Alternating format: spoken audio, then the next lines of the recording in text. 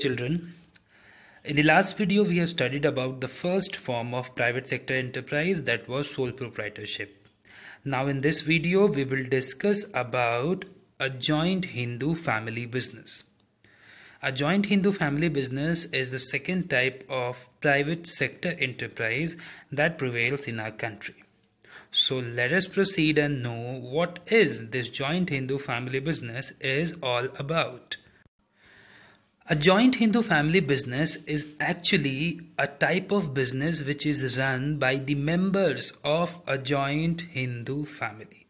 When I say a joint Hindu family, I mean a Hindu family which has not yet done the partition process, where all the members they live together and they function as one single family.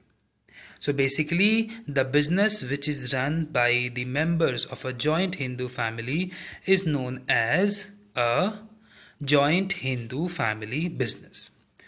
So as you can see here that it is a specific form of business and also the oldest form of business organization in our country this joint Hindu family business is the oldest form of business organization in our country and that actually makes it also super super special.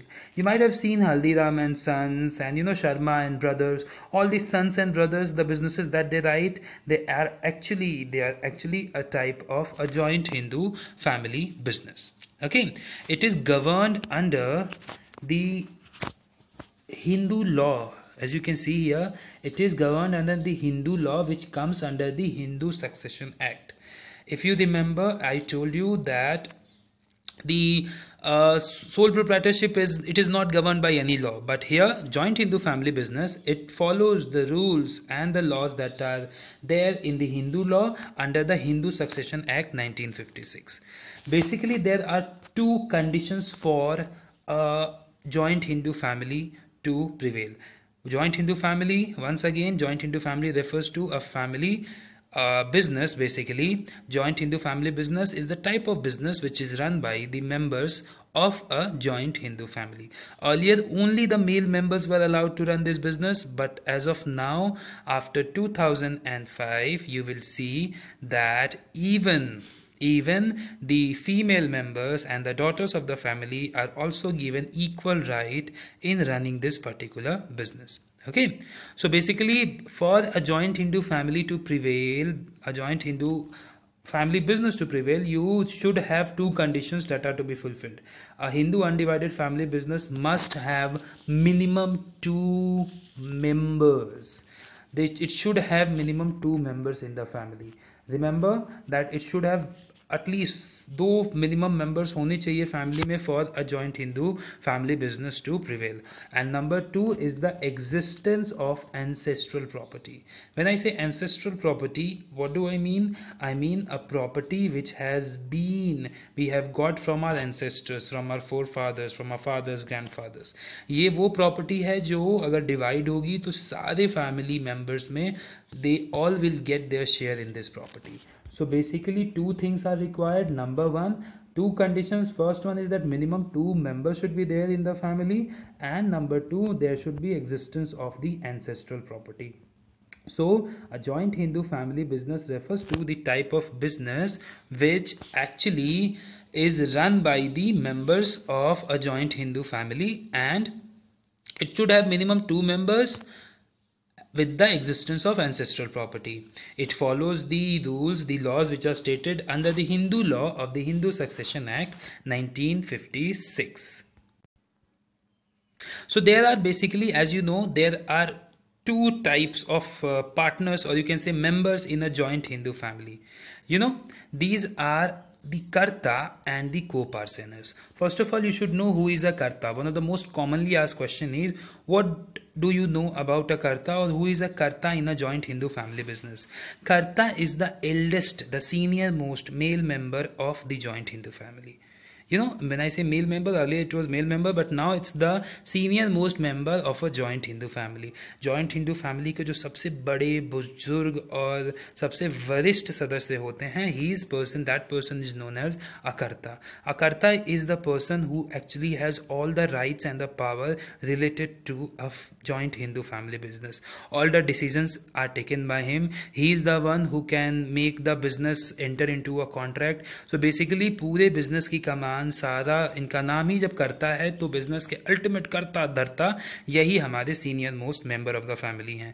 Business के सारे decisions यही लेते हैं business में क्या होगा, क्या नहीं होगा, सब चीज़ इन्हीं के द्वारा डिटरमाइन की जाती है। So now you can understand who is the karta the senior most member of the family who is the manager and the ultimate controller of the joint Hindu family business and the other members you know as i said it is run by the members of a joint hindu family so except the karta senior most member के बाद बाकी जितने members हैं they are known as co-parceners co-parceners when i say i mean they are the people who are the members of a joint hindu family and what do they do they give suggestions to the karta. They help the karta in running the business but they don't have any decision making power. They can only suggest the karta with whatever uh, inputs they have but the final decision related to the business would always and always remain with the karta himself. So hence these are the people as i said these are the people. The karta is the whole sole decision maker and the controller of the business. He's the one who's responsible for the business growth and everything else. Whereas the other members they are known as the co-parceners they have to abide they have to follow all the decision that the karta takes. Now next we are going to discuss the features of a joint hindu family business. So the very first feature is formation. When i say formation i mean how it is formed a joint hindu family business as i told you there were two conditions that the first there should be minimum two members and number two that it should have some ancestral property agar ye do conditions fulfill nahi hote you cannot form a joint hindu family business and it is also not very compulsory to register it ठीक है but it has to follow all the rules that are given in the Hindu law so once the two conditions are avoided that minimum two members and ancestral property are there then you can start a joint hindu family business next one is the control I have already discussed all the control decision making power of the business it lies in the hand of Karta. Karta the senior most members he takes all the decision and basically he is the one who's responsible for all the everything that whatever the business is successful if it is having losses सब कुछ के जिम्मेदार ये करता होते हैं because he is the controller and the decision maker of a particular business next one is liability liability अब हम पीछे आ जाते हैं here the liability of the karta is unlimited क्यों? Because he is the person who is actually responsible for everything सारे decision यही ले रहे हैं। सारा पावर इन्हीं के हाथ में है। That is why his liability is unlimited in case if the business gets a lot of losses if the business suffers with losses और सबकी प्रॉपर्टी बेच, देने के बाद भी अगर लॉसेस नहीं जा रहे हैं so the karta he is liable to pay the losses को पार्सनर्स की लिमिटेड लाइबिलिटी होती है। Limited when I say I mean they are only liable to the amount of they are share in the business business में उनका जितना share है, सिर्फ़ उतनी की लाइबिलिटी है। They will only pay that much and after that if there are extra losses karta will pay it he may have to you even he may have to increase his personal property उसको अपनी personal property बेचनी पड़ सकती है include करनी पड़ सकती है but he will make sure that the business is going to run properly and the losses if after paying after all the को पार्सनर्स पे देयर शेयर्स अगर फिर भी लॉसेस बचते हैं सो ही हैज़ टू पे it because the liability of कर्ता is unlimited and the को partner is limited it is limited to their share of uh, their portion in the business whereas the karta he has to go with the unlimited liability. So this is the liability uh, feature of joint hindu family business. And the last one as i explained the minor members. Membership basically. You know the membership of a joint hindu family business is by birth. The moment a child takes birth in a joint hindu family business he becomes a member. So minors can become members in a joint hindu family business. If a question comes can a minor be a member in a joint hindu family business? The answer will be yes. It is membership by birth. The moment a child takes birth in a joint hindu family business he becomes a member of it. And continuity ji ha a joint hindu family business enjoys a long continuity as the as soon as the karta dies then the next senior most member becomes the karta. So this keeps on going on and on. Yeah? See the organization enjoy a long stable life as it is not affected by the death of its member. If karta dies then the next person will become the karta and he will run the business. So the operations are not at all terminated. They go without any problem without any hindrance. So continuity is enjoyed by a joint hindu family business.